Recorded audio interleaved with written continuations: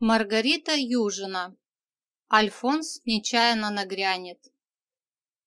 У подружек Василисы Курицыной и Людмилы Петуховой необыкновенный дар. Их всегда тянет туда, где совершаются преступления. Они появляются в самой гуще событий и начинают расследование. А милиция остается только отдыхать. В этот раз, желая подработать затейницами на свадьбе, дамы обнаружили труп невесты. Правда, гости им не поверили и за такую клевету выставили вон из квартиры. Затейницы, которые видели в свадебной машине окровавленное тело в белом платье, удивились. Вот так ошибочка. Но через некоторое время эта невеста действительно представилась. А вслед за ней и жених. Кто-то прикончил бедолагу. Сыщицы взволновались не на шутку. И давай действовать так активно, что пух и перья полетели. Глава 1.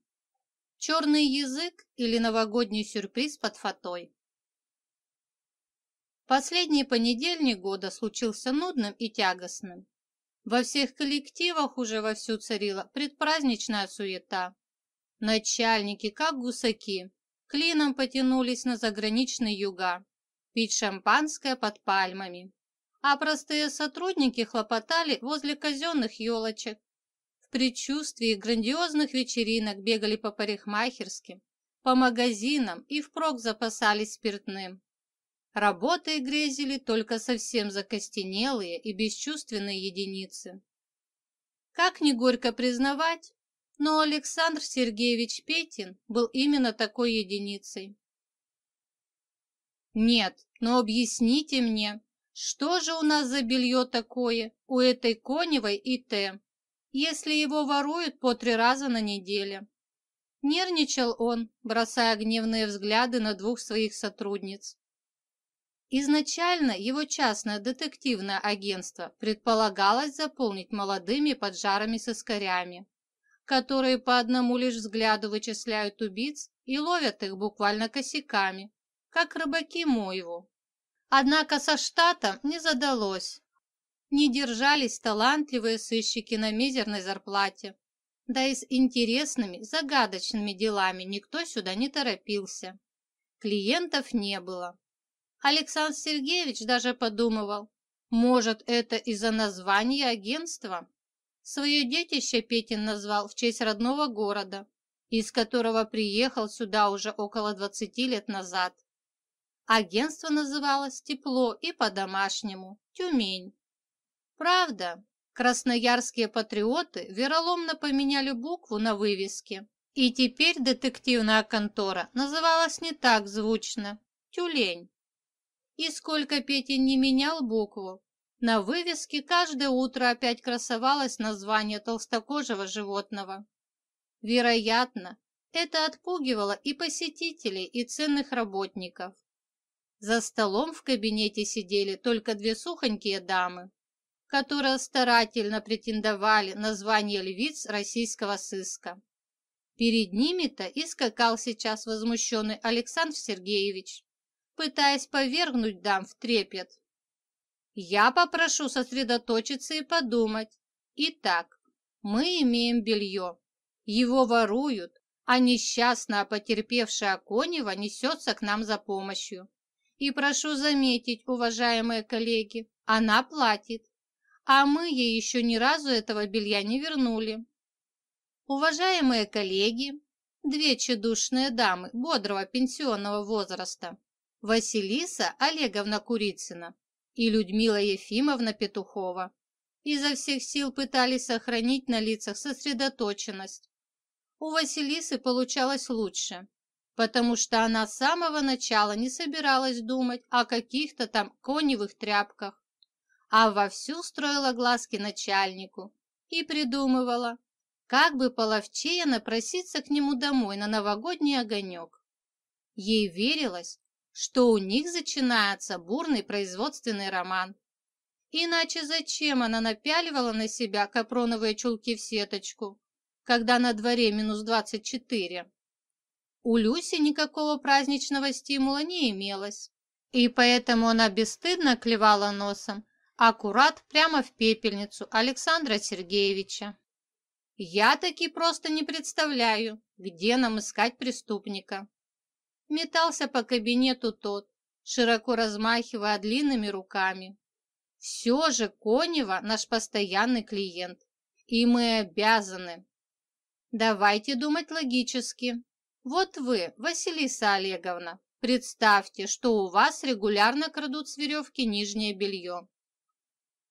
Василиса Олеговна примерно сложила губки пупочкой, поправила жиденький пучок локонов и благочестиво кивнула.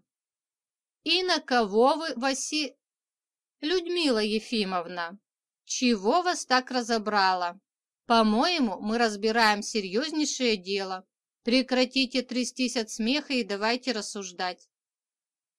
Начальник уставился на Люсю и затрепетал ноздрями. Та сама отверженно пыталась справиться с весельем, зажимала рот ладошкой, но смех выходил носом каким-то непотребным хрюканьем. И все это в самый разгар совещания. «Простите», — мгновенно посерьезнела Люся. «Я, кажется, пока не могу рассуждать. Я еще не сумела представить, что кто-то позарится на Васины. И вообще, на кой черт Васенька, пардон, свои панталоны на улицу сушить потащит? Петин учуял свежую мысль, и потому рот его открылся, а по лбу в изумлении заскакали брови. Он кошкой кинулся в свое кресло, опрокинулся на него всем длинным телом, ухватил себя за подбородок и загнусавил. А это идея, и ведь правда, Зачем она его снова и снова увешивает в этот двор? А на балконе оно что, не высыхает? Василиса Олеговна, у вас сохнет? Сохнет. Все так же прилежно поправила пучок кудряшек Василиса. Я вот, например, свое. Кружевное французское белье всегда только на балконе сушу. Дома ведь тоже знаете. Один раз оставила, так его собака сожрала. С этим бельем такая морока, особенно если дорогое и вообще. Так вот, шлепнула стол серой папкой начальник, на полуслове оборвав басни Василисы о Франции. Это дело с барахлом, с тряпками, с бижу... О, черт! С бельем этим. Конечно, дело серьезное, но... Я доверяю его вам. А у меня тут еще кое-какие бумажки накопились. Да к тому же... Чего там говорить? Александр Сергеевич давно мечтал о красивом, запутанном деле, о котором можно будет рассказать внукам и прославиться на местном телевидении. А с этими, пардон, ритузами какая может быть слава? «Ой!» – вдруг резко подскочила Люся. «А ведь я не могу, нет, ну правда, я понимаю. Дело Коневой жутко заковыристое. Преступник просто-таки коварно раздевает даму, срывает одежды с веревок, и нет ему пощады. Но я его искать никак не могу. Вы же знаете, у меня дочь наконец решила замуж выйти официально. Свадьба у нее. И мне просто никак. Я должна взять отпуск за свой счет, Прямо так жалко, так жалко. Дело-то какое интересное. Кстати, Александр Сергеевич, во всех законах написано, на свадьбу надо дать не меньше трех дней. Куда? Рявкнула Василиса, забыв красиво поставить голос. Это если у тебя свадьба, тебе обязаны дать, а если у дочери, то ничего не полагается. Люся вяло вздохнула и взглянула на подругу, измучена и устала. «Васенька, ты что, не знаешь Ольгу? Я ее буквально должна водить за руку, чтобы она не передумала и до ЗАГСа не удрала опять какую-нибудь Канаду. У нее же свадьба еще через месяц с лишним». «Спасибо, родная!» Мило улыбнулась Люся и тут же обернулась к Петину. Значит, Александр Сергеевич, мне отпуск нужен на два месяца. Позвольте, но... Нет-нет, зарплату начислять не нужно. Замахала ручкой Люся и заторопилась из кабинета. Василиса в гневе прищурила глаза и испепелила взглядом закрывшуюся дверь. Начальник сурово крякнул, поковырял длинным пальцем ухо и еще более официально обратился к Василисе. «Итак, продолжаем. Значит, послушайте». «Нет уж, это вы меня послушайте», – плюнула на погибающий роман Василиса. Она шла домой сурово, сдвинул брови и кипела от возмущения. Конечно, если бы не ее пылкие чувства к этому сухарю, она и неделю бы не продержалась в таком унылом месте. А ведь как звучно называется? Частное разыскное агентство. Фи, да они с Люсей без всяких агентств такие дела раскручивали. Не чита этим свистанутым лифчиком. Они таких мудреных убийц отыскивали, что даже Пашка, взрослый сын Василисы, который работает в милиции, даже он за голову хватался. А сам Александр Сергеевич под руку говорил идти к нему работать после того, как они запутанное преступление быстрее его раскрыли. А теперь белье Коневой. Да они с Люсей уже две недели назад все выяснили.